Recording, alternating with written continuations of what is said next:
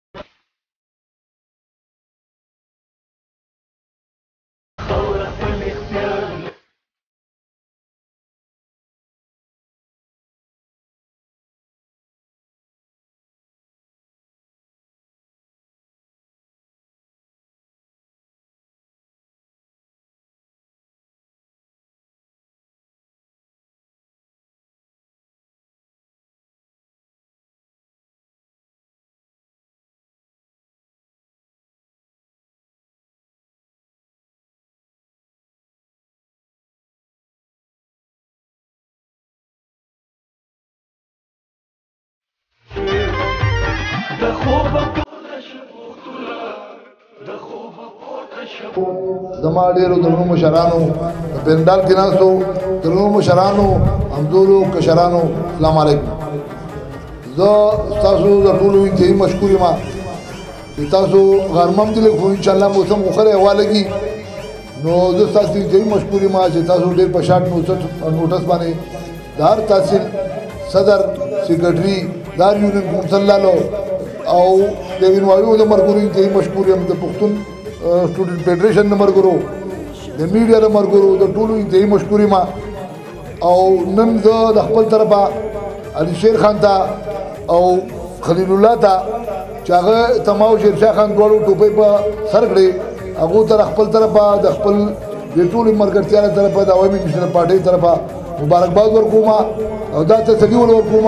چې ان شاء الله تعالی کومه فیصله تاسو وکړه نو په دې بس تومانه نه زه د دې سره مسلسل یو خبره کوم دا د تاریخ خان خبرې له وروسته راځم او دلته زموږ ټول مرګري ناست دي زه یو سوال خپل ټول مرګرو ته کوم چې موږ کوم مرګري په پارټۍ کې شامل وو نو هغه پښتو ټپره وي د یارانې کول آسان دي مرګرو ګرانه ده د یار زړه ساتنه نو مرګره پارټۍ ته وستو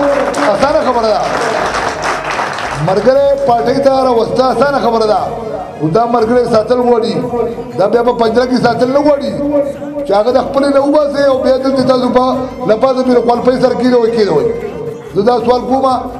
چرورا څوک د بلی سره خوري زما یو ادنا ور کړی ما ته وی زما پړه دار مان دي ما نه مدا صدام نه ماړی نه سته دما ته وی یروي خانه کو تام نه مشر سره ملاوړو مې په قربان مونږ خو دې مشر لګړې خو دې ورسیا کوي ابل ورځ دې مرګور وي چې د حضرت علي خان لما خامخ د ادر خان سره ټیم اغستو وړي مې په سکندو کې بجلی کې ان شاء الله تعالی ځکه زما خبره مشران په دې خبره مري چې هغه د دا پته لګي دی خو می سم نه شته ودرېږي نه صوبایي سم نه شته ودرېږي نه سېنات ته ودرېږي زه خدای خدمتګار یم او زه خپل خبره ځکه کوم چې زه حق لپاره په دې پاټې کې زه بس تاسو خبره کوم د مشرانو سره به کوم د کشرانو سره به کوم زه نه ځان ضرور نه منم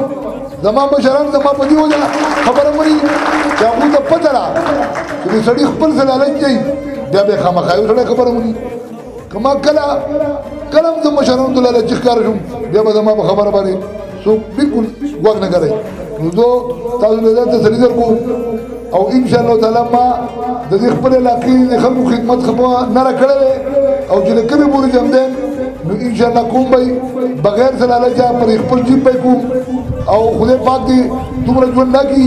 اخیری خبرې ما ته پات شي نو هغه دې څه خبرې سیاسي هغه کړي خو مال چې څومره پوری زه ژوند دې ما او زما خاندان که افتخار خان نسته که وقار خان نسته تاسو ته خبر درا نو سم دا خبره کوم په خدای قسم دې چې زموږ دې حلقه کې چې خدای بل یو دې مرګره پیدا کی چې هغه دې کوم خدمت کول شي زمو دار ولا کوم اور عزتمندو زما دې رور یو خبره وکړه حضرت علي په اولن کې نو زما خیال دی چې دغه چپټر رور اړو سره چېړل نه غواړي چې یاره پی ټی آی دسی وو موږ دسی وو دا خپل صفات او پردیس غیبت دغه نه کو خونن الله تعالی موږ له یو موقع را کړی دا په یو داسې شکل کې چې نن موږ د دې تحصیلي کبل عموما او د پی کې سیون خصوصا ټول د یونن کوسل هغه صدران سیکرټران عظیموار د انوایو هم د تحصیل هم او د ضلع هم راغون شوی دی دلته کې ناست نو د دې خبرې نه هټ کې دا مونږ ته یو موقع ملو شوې ده چې یاره د دې دې چې مونږ پاسو په یو سوچ باسو په یو فکر باسو چې کم مشکل مونږ تر روان دی کم جنگ مونږ تر روان دی چې دا غي د پاره سوچ وکړو چې هغه جنگ به مونږ په ست طریقه ګټو زه اول د الله تعالی شکر ادا کوم او بیا د هغه ملګرو چې چا په دې شمولیت کې کوشش کړی دی او د حضرت علي غوندې په شکل کې ملګری دې ملګرتیا له راغلی دی نو نن موږ ته دا موقع میلاو شوې ده د دې کم پارټۍ خلاف چې موږ هر وخت په سټیج باندې زنده‌باد مرده‌باد وایو هغه به پریدو خدای یو موقع موږ له راغلی ده چې دا کس زموږ سره راغلی دی د خپل کور ته راغلی دی دا څه د بل ځای نه نه پنجابي دی نه سندې دی نه بلوچې دی او زمونږ یو پښتون بچو پس خبره زمونږ نه په خپه شو ګله منو نن هغه ګلې ختم شوې خپل کور ته راغې نو زه وته تاسو په توسط دا خبره کوم چې را پاسوبه د د مټې په مضبوطو او د د هغه ځوانان کم چې په دې خاور اوسي کاغه په باندې کې دی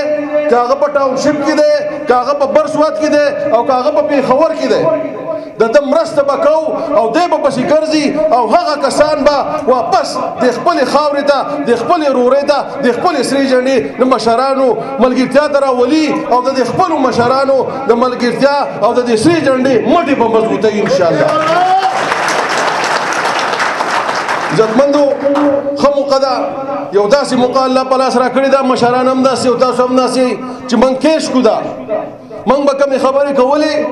اخو موږ مخالف یو په اپوزیشن کې بو یره هر سړی بهر وای عام سړی چې یره زه خو د مخالف ته ځکه خبره کوي خدا یو رول ماډل نن موږ ته ملاو شوی دی نو په کار ده چې د دې موقع نه موږ پیدا وچته کو او په دې خاور چې کم مرونه زموږ وسی هغه پنجابیان یا بلوچستان یا سندیان نه دي د دې خاورې بچي دي چې وګرځو پکې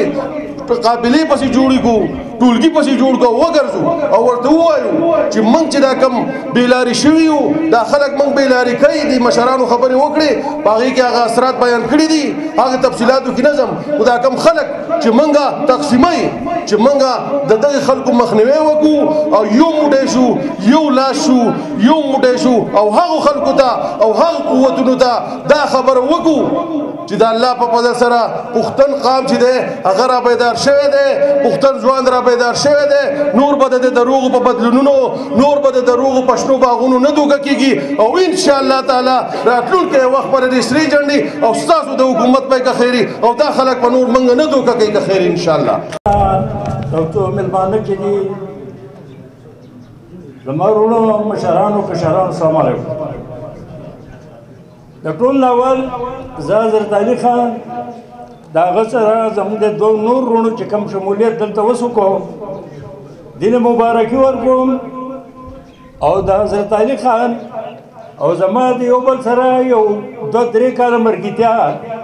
تقریبا وتی وه نو دا حضرت علي زه ډېر ښه پېژنم د جذباتي یا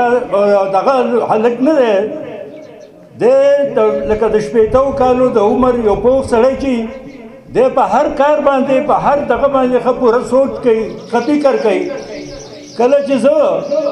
ما ته پته ولګېده چې حضرت علي خان د پارټۍ ته راځي نو ما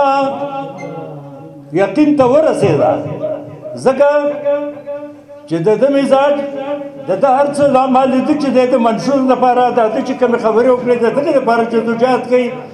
دغه څه زموږ په پی ټی آی کې نور هم دغه څه ورکران شته چې هغه دا مطلب و چې واقعي دلته وسه ترانسفر او بدلی به راځي نه د هغې لپاره هغو جدوجهد کوو او حضرت علي په خاص کر دا خپل ټول څلور پنځه کاله زما چې یاد شي د پارټۍ لپاره جدوجهد کړی دی منډې ستړې والې دي خو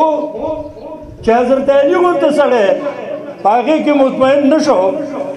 او هغه راغی نن د سور سیلاب لا د پښتنو د مرګتیا ته راوو نو زه دله بار بار مبارکي ورکوم او د دې نه ټولو خلکو له عبرت اخیسته پکار دي چې هغه به دې پوه شي چې حضرت علي غونته هلک چې هغه د دغې پارټۍ او د هغې د منشور لپاره د هغې لپاره ځان وقف کړی او هغه هغه پارټي پرېښوده لاړو نو زموږ نور رمزولو کشرانو زموږ ځوانانو ته د سوچ مقام دی چې هغه هم د حضرت علي له لارې اختیار کړي او د خپل ورورولۍ ته واپس راشي نو زه بیا بیا حضرت علي له مبارکي ورکړم زه به یو څو خبرې وکړم په خپل زړې پاټۍ کومه چې ما پرېښوده دا یو هفته وشوه په ما باندې ډېر کوېسچنې وشوې ډېرو ملګرو تپوسونه وکړل او د زړې پاټۍ د ایس ایف او د یوت ځوانانو زما نه ډېر سوالونه وکړل خو ما لا چا ته جواب نه دی ورکړی نو دا یوه موقع ده چې زه د هغو د هغې سوالونو هم جواب ورکړم ډیرو خلکو ماته وی چې ته خو ډیر نظریاتي وي په منشور مین وي د خان صاحب سپایي وي تا دا فیصله څنګه وکړه ته ولې لاړې ډیر عجیب عجیب کوېسچن دا یو هفته زمانه وشوي ما خو په خاموشي اختیار کړی و خو اوس د دې ځینې ځاغ وته د هغو د سوالونو یو څو جوابونه ورکوم چې دا خبره ټیک ده چې زه یو منشور لا زه یو نارې لا زه یو نوی پاکستان لا زه یو سوچ لا زه سه نوی ناری لا سه د نوی پاکستان او د کرپشن نه پاک پاکستان لا سه د انصاف او د میرټ اوازونو لا راغلی ما زما چې کوم سټوډنټ لا په کوم چې ورته ګولډن ایج وای په یونیورسيټي کې به ما دا غینه سیاست شروع کړو بیا په ټوله صوبه کې بیا په مختلف کالجونو کې په سکولونو کې په یونیورسټیانو کې زه ګرځېدلی ما دا تنظیم ما رخ کړی دی ما د منشور کم منشور چې ما ته ویلی شوی و د هغې پرچار کړی دی په هغې کې یو څو خبرې دي چې زه خپل هغې ملګرو ته د هغې نشاندهي کوم پای کې یو دا خبره وه چې د کرپشن نه پاک پاکستان وي میرټ وي انصاف وي مرسي سیاست وي مرسي سیاست نه خلاف جنگ وي د دې ټولو خبرو لپاره موږ دا 15 شپږ وکاله د خپل سټوډنټ لایف وخت ورکړی خپل قیمتي وخت ورکړی خپل جان مال ورکړی خو چې کله دا پارټي په حکومت کې راله په دې صوبه کې حکومت روغ شو نو کم د میرټ خبره کم د میرټ داوی چې مونږ کولې نو د هغه میرټ قتل عام ما د تاریخ انصاف د هر منبر په کور کې لیدل لري زه د شاړری د ډیسټریکټ کونسلر په حیثیت باندې تاسو ټول ته شاړری ته پراتلو باندې پراتک باندې په خیر راغلی وایم او حضرت علي خان ته د زړه د کومې نه په خیر وایم او زه به ستاسو یو دوه منټه اخلم چونکې په دې سړي کې ما له ګډې خبرې لیدلې دي نو بیا موقع نه ملېږي چې یاره زه ورته بیا وکړم په هر سړي کې زما په نسبت باندې لیډینګ کوالټیز نه او بعضې بني آدم لیډري او بعضې ورپسې حیدر علي خان سره حضرت علي خان سره زما ولنې ملاقات کېدای شي چې مخکې شوی خو ما پېژندلی نه زما مشرانو کشرانو مونږ ته چې نن سبا من حیث القوم به حیثیت پښتانه کومې مسلې راپیښې دي هغه ټول استادو د مخې چې د پښتنو په څه قسمه باندې استحصال کیږي څه قسمه باندې بیزتی کیږي کوشش کیږي چې دی په منځ کې جدا کړی شي زمونږه مشر خنواب او یو څو کسان نور دا کوشش کوي چې را زمونږه د سواد خپل مشران کشران واړه لوی دا یو ځای کو د ډېر حده پورې دې کامیابي هم حاصله کړې ده خپل ژوند یې ورته وقف کړی دی زما د مخې ده زه پرې ګواهي ورکولی شم وایي زمونږ به اتفاق او ورورولي را پیدا کېږي چې داسې شمولیتونه کې ښې دي زمونږ به اتفاق او ورورولي را پیدا کېږي زمونږ په دې خاوره به سپرلي را پیدا کېږي او چرته چې انصاف نه وي د ظلم تور نظام وي تحریک انصاف خبره ده کړو چرته چې انصاف نه وي د ظلم تور نظام وي بیا هلته حضرت علي غوندې زلمی را پیدا کېږي